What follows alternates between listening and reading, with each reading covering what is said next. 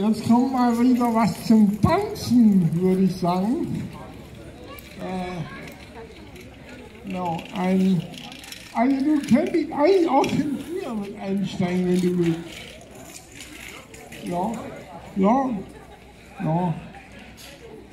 Äh, äh, unser Gastmusiker des heutigen Tages, der Bernhard Nussi, der Stecksteinschnitzer.